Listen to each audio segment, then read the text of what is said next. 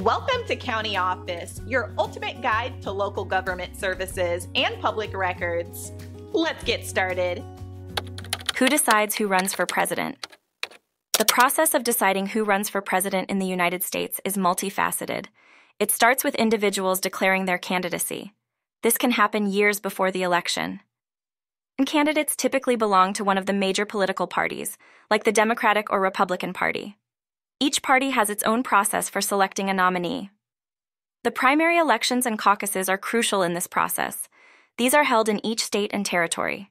Voters in these primaries and caucuses choose their preferred candidate. The results of these primaries and caucuses determine how many delegates each candidate receives.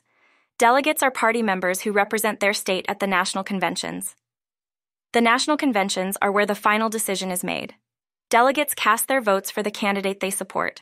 The candidate with the majority of delegate votes wins the nomination. And however, there are also independent candidates. They do not belong to a major party. They must gather signatures to get on the ballot in each state. The Federal Election Commission, FEC, oversees the election process. They ensure that all candidates follow campaign finance laws.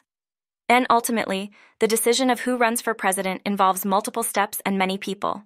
From voters to delegates, each plays a crucial role in the process.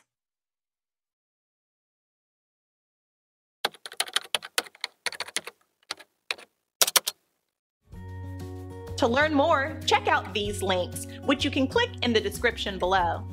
And feel free to comment your questions. We're here to help. Thanks for tuning in to our video. Please like and subscribe and leave a comment below. See you in the next video.